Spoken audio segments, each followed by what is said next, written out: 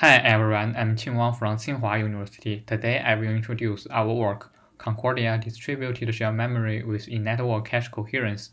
This is a joint work with my colleagues Yu, Erci, Junru, Youmin, and Professor Jiwu Shu. Distributed share memory received considerable attention at the end of last century, since it can provide a unified memory space, easing programming for distributed applications. However, classic DSM ran to its course due to unsatisfying performance on top of low-speed network. Recently, with the emerging fast network stacks such as RDMA and DPDK, DSM becomes popular again. Modern DSM supports new applications such as OLTP and graph computation. For example, Microsoft has built an RDMA-based DSM named FaRM. Even with faster network, caching is a must to boost the performance of DSM. This is because compared with the network, the local memory has, has much higher bandwidth and much lower latency. When different servers host the same cache blocks, we must to keep them coherent to offer stronger consistency for upper applications.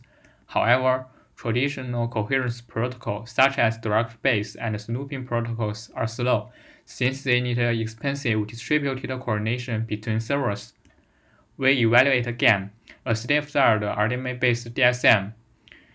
The figure on the bottom on the bottom right shows the results. When servers start to share data, the throughput decreases significantly and the, pack, the number of packets across the network increases dramatically. Emerging programmable switches allow users to define network protocols while programming match action pipelines in this work, we argue that using programmable switches to handle cache coherence is promising. First, a programmable switch is a centralized hub for inter-service uh, communication and can handle several billions of packets per second. So we can leverage the switch to multicast invalidation message of cache coherence. Second, the programmable switches have on-chip memory that can stores the metadata of cache, block, cache copies. Third, the on, the on-chip memories supports the atomic read modify write, so we can design in, in switch locks to serialize conflicting requests. There are three challenges to design fast cache coherence protocol using programmable switches. First, the expressive power of the programmable switches is limited. All procedures must to must to be represented as match action, table, match action tables, and the processing pipeline must meet the hardware resource and timing requirements of switch ASICs. However, the cache coherence is complex, so how do we map coherence logical to switch pipelines? Second, the capacity of switch memory is only about 10 megabytes and cannot store the metadata of all cache line blocks, so how do we manage coherence of large amounts of data? Third, packet loss is inevitable, but when the switch is stateful, how to enforce exactly one's semantics? Next, we will first introduce our proposed DSM, Concordia, and then show some results, and finally give a summary and conclusion. Con Concordia is a user-level rack-scale DSM the, the, fig, the figure on the right shows its architecture, which mainly consists of set of memory nodes and a top-of-rack switch. Each memory node uh, divides its, its DRAM into two parts, a global memory and a, and a local cache. The global memory from all memory nodes constitutes uh, a unified memory space, and application threads interact with the local cache via reusable read and read and read interface. The switch routes normal, routes normal packets and accelerates cache coherence. Next, we will describe three key designs of Concordia, each of which, each of which addresses a challenge mentioned before. Concordia induce, introduced an in-network coherence protocol. It is a write-invalidate protocol. In the programmable switch, we store the cache block metadata, which, which which includes the status and share list of the cache block. Moreover, the switch maintains a read-write lock for each cache line block to serialize conflicting requests and multicast those requests. Here, we show the process of our coherence protocol by an example, as shown in this figure. Node 1, 2, and 3 holds the cache block A. When node, and node A, when node 1 issue a issue write to the cache block A, it generates a cache coherence request to the switch. The switch acquires the, the write lock, fetches the metadata of cache block A, and then multicasts the request to node 2 and 3 according the value of metadata. Upon receiving the request, the request the node 2 and node 3 invalidate their, their local, local cache copies and send X to the node 1. On receiving, on receiving all X, node 1 send an, send an asynchronous, asynchronous unlock request to the switch. The unlock request con contains the new version of metadata. The, the switch the switch installs the new metadata and release, releases the lock. Overall, this cache coherence request is pro, processed in, in a only one round trip, and due to precise in-network multicast, the network traffic is minimized.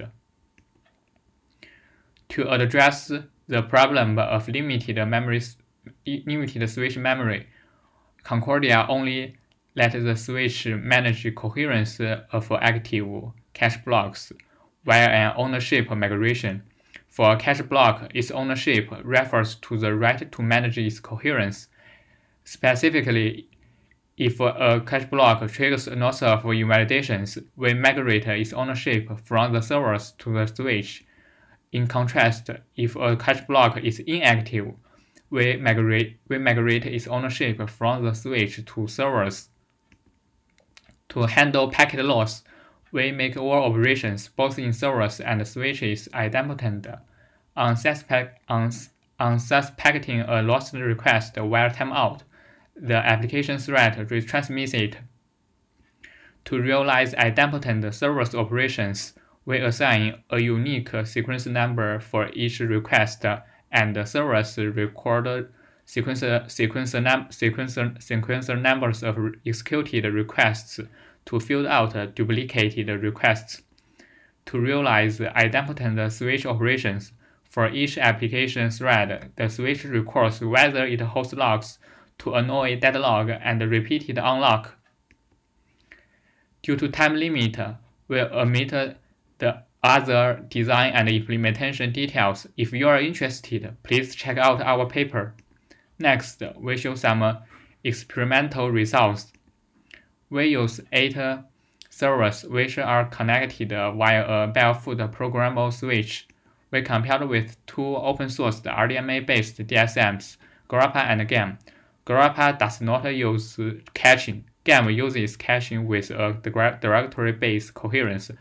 We also evaluate Concordia-based, where servers manage coherence of all cache blocks. We evaluate Concordia by a set of micro benchmarks and applications. We, we first conduct macro, micro benchmarks. We launch four application threads per node.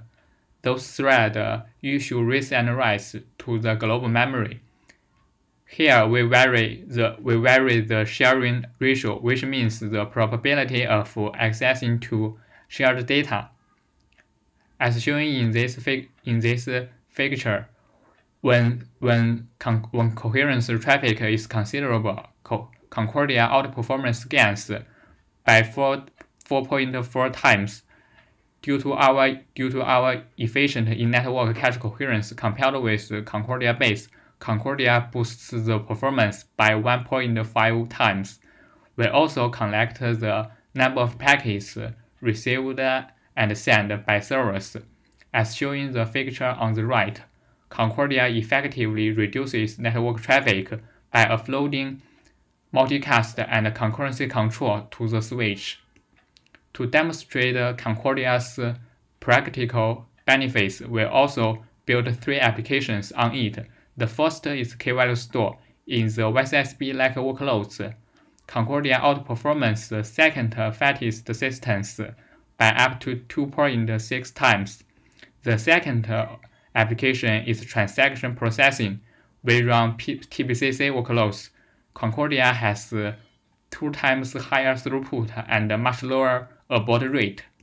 The third application is graph computation. Concordia reduces the runtime of PageRank by 2.3 times. To sum up, Concordia supports various applications and, up, and, and boosts their performance. Finally, I give a brief summary and conclusion.